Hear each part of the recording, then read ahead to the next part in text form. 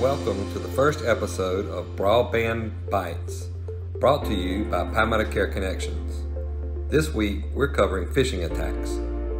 A phishing attack is an attempt from scammers, usually in the form of an email, to mislead you into giving them your personal information, such as a credit card or social security number.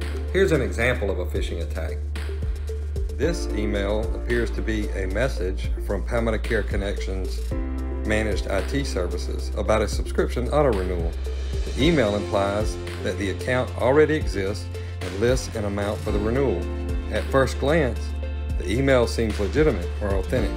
Let's take a closer look. Look at the sender of the email. This sender used Gmail. Most business receipts, invoices, and general emails will include the company's name, followed by a .com, .org, .edu, or .gov. Look at the information inside of the email. There are several grammatical and typographical errors that make the email look unprofessional.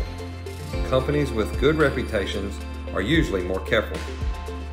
If you are unsure or uneasy about any of the information in the email, do not click on any links or submit any personal information.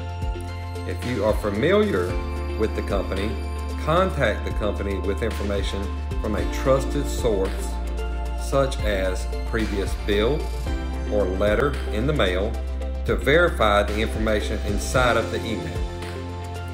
To recap, there are three steps to avoid a phishing attack.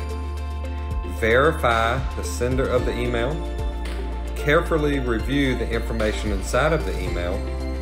If you are at all unsure, do not click on any links or submit any personal information.